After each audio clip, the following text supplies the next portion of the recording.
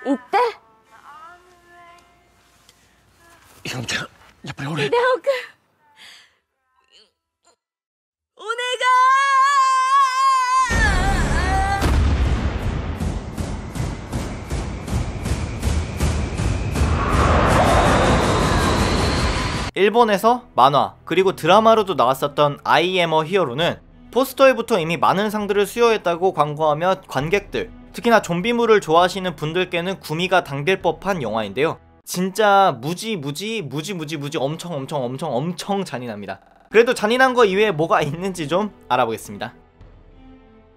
오늘의 IMO 히어로 후기는 다양한 스포일러가 있기 때문에 보실 거라면 여기서 재생을 멈추시고 나중에 보시기를 권장합니다 영화는 유명한 만화 작가의 어시스턴트이자 15년 전에 만화 신인상을 탔으나 대작은 하나도 못 터뜨려서 여자친구 집에 눌러 사는 만화가 히데오가 어시스턴트를 하는 장면으로 시작됩니다. 히데오의 현재 상황은 상당히 오랜 시간 동안 소위 말하는 대박 만화를 못 터뜨려서 여자친구는 물론이고 출판사에서도 상당히 외면받는 처지로 살아가는 자존감은 저 바닥에 있는 인물인데요.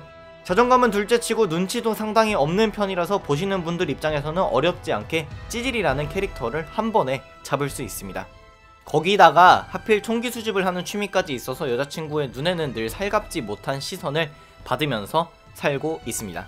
하루는 이런 히데오의 모습에 지친 여자친구가 히데오를 집 밖으로 쫓아내는데요. 이러는 와중에도 총이랑 총기 소유 자격증 꼭 챙겨서 나옵니다. 그리고 히데오는 밖에서 밤을 새고 assistant 작업을 하러 출근을 하는데요. 뉴스에서는 감기로 추정되는 병에 상당히 많은 인물들이 감염되었다는 사실을 알려줍니다. 이때 히데오는 갑자기 걸려온 여자친구의 전화를 받게 됩니다. 이에 히데오는 여자친구가 좋아하는 빵을 사들고 집을 가게 되는데 분명 안에는 휴대전화 벨소리는 들리지만 여자친구는 반응을 안 합니다.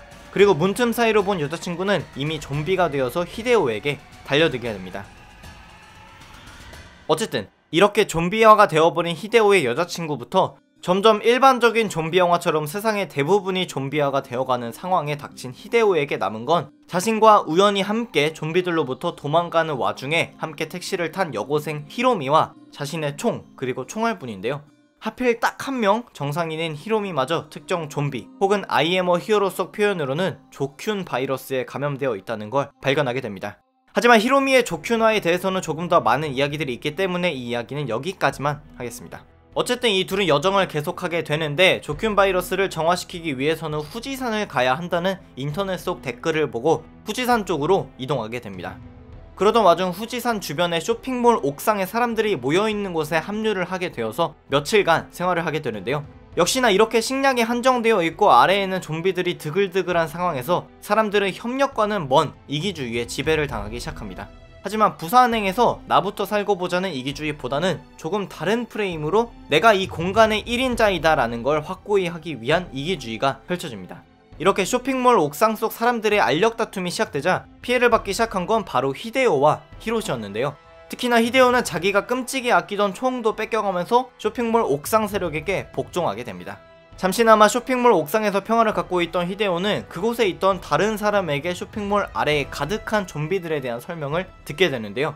회사에서 온갖 구박을 받고 다니는 회사원은 좀비가 되어서도 전화를 받고 잘하겠다고 이야기하는 모습부터 쇼핑을 하다 죽은 여자는 쇼핑을 하려고 가게에 계속 들어가는 모습을 보여줍니다. 참고로 영화에서는 거의 처음으로 등장한 히데오의 여자친구는 좀비화가 되고 나서 히데오를 공격하며 히데오의 무능력함을 비난하기도 하는데요. 고로 지능은 전혀 존재하지 않는 좀비들이지만 좀비가 되기 전 마음에 품고 있던 부정적인 감정이나 혹은 집착 등이 좀비가 되고 나서 밖으로 그리고 반복적으로 드러나는 상황을 알 수가 있습니다. 이런 좀비들의 반복적인 욕망 혹은 소망의 드러남은 제가 일본인이었다면 조금 더 느껴지는 바가 많았겠지만 정통 한국인인 제 입장에서는 반투명 유리가 제 이해를 가리고 있는 것처럼 완전하게 그 심리나 의도를 이해하기는 힘들었습니다. 어쨌든 이렇게 다양한 좀비들이 소개가 되고 본격적으로 히데오와 옥상무리들은 좀비와 싸우게 되는데 후반부인 이때부터는 거의 화면이 피파티입니다. 네, 그냥 피가 사방팔방에서 터지고 장기도 사방팔방에서 터지고 머리도 터지고 배에서는 장기가 흘러나오고 뼈가 짓눌리고 아무튼 온갖 잔인한 거는 다 나옵니다. 사실 이 후반부 전까지는 그래도 견딜만한 정도다라고 생각을 했고 28주급이라고 생각을 했지만 확신을 하고 말씀드리는 건데 제가 올해 작년 재작년까지 본 모든 영화 중에서 가장 노골적으로 잔인했습니다. 대표적인 미국의 스릴러물들처럼 뭔가 음향이나 연출들을 통해서 사람의 심리를 옥죄어오는 형태의 잔인함이 아니라 그냥 징그럽고 잔인한 장면을 너무 대놓고 드러내는 형식의 잔인함이기 때문에 실제로도 많은 분들이 영화관을 나가시면서 좀 너무 심하게 징그럽다. 이거 청소년 불가 맞지 등의 너무 잔인했다는 평이 전반적이었습니다. 저 역시 그 점에 동의하는 바이고 부산행이나 서울역과 마찬가지로 바이러스의 시작이나 원인 등을 알고자 하시는 분들께는 영화에서 제시해주는 답은 전혀 없습니다. 그렇기 때문에 월드워 제트와 같은 바이러스를 치료한다고 이야기가 끝나지 않고 그렇다고 부산행처럼 부성애와 같은 부분도 보여주지도 않습니다. 오히려 찌질하고 겁먹기만 하고 약자였던 히데오라는 인간이 좀비와의 사투를 겪으면서 용기 있는 사람이 되었다 정도가 영화의 외면적인 결론인 것 같습니다. 그래서 제목도 am a hero인 것 같기도 하고요. 고로 제 결론은 잔인한 걸 좋아하시면 킬링타임용으로 보시기에 아주 알맞은 것 같고요. 절대로 뭔가 따뜻한 느낌 혹은 영감을 받는 느낌 등은 기대하지 마시고 보시기 바랍니다. 이번 I am a hero 후기 겸 느낌은 여기까지였습니다. 추천과 구독은 꼭 한 번씩 누르고 가시기 부탁드립니다. 감사합니다. 지금까지 뷰맨이었습니다.